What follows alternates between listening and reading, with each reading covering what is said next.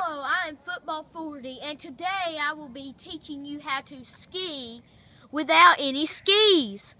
Um, these are the materials we need. Tennis shoes, a jacket, but I know I'm not wearing some. It's warm, but It's yes, not. It's it- 30 degrees, but we've been we've been at this a while, so we're pretty warm. Okay.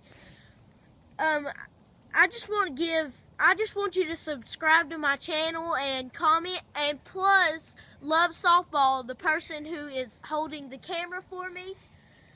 Comment and subscribe her videos, please. Um, so let's get at it.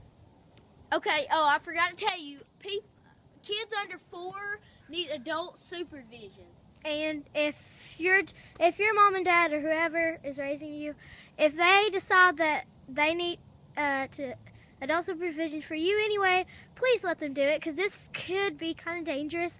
And it's okay, but we don't want anybody getting hurt. Now, if you're going down a steep hill, okay, you don't need a steep hill like this. But that's the only thing we have. Yeah, we. This is the only good hill we have. So, as you can see, there's a brick wall. It's about two feet tall. So we really just we're he's gonna be jumping off of it, but he's gonna show you the skills. okay, all you have to do is run down your hill, and then at the end act like you're sliding your skis. How you stop? Okay, let's get at it. Just like that. It's that sim- simple. Now, if you really like that, push the thumbs up. And I'm going to be teaching you how to go sideways in the next video. Thanks for watching.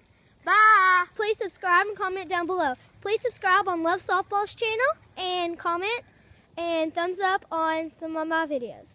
Uh, thanks for watching. Bye.